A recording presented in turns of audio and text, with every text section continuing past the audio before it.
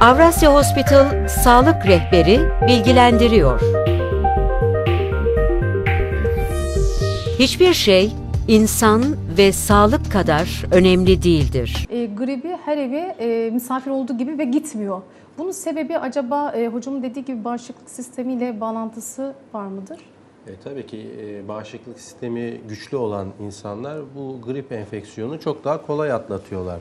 E, tabii burada e, virüsün karakteri de önemli. Bu sene e, salgın yapan H3N2 virüsü e, oldukça kuvvetli bir virüs. E, etkilediği kişilerde gerçekten çok uzun süreli, yaklaşık 3 hafta kadar süren e, şikayetler oluşturuyor. Ee, başlangıçta e, normal grip semptomları işte burun akıntıları, öksürükler, boğaz ağrıları, yüksek ateş, eklem kas ağrıları görülürken e, arka arkasından e, özellikle 2-3 hafta kadar süren yoğun bir öksürük, özellikle kuru öksürük e, bu tabloya ekleniyor.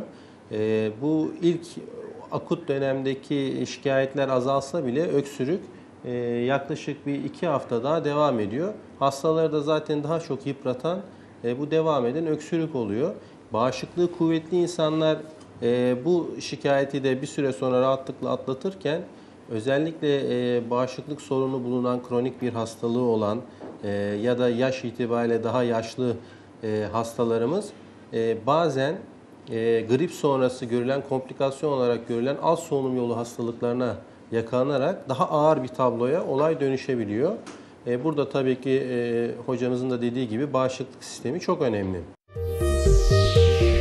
Avrasya Hospital Sağlık Rehberi bilgilendiriyor. Hiçbir şey insan ve sağlık kadar önemli değildir.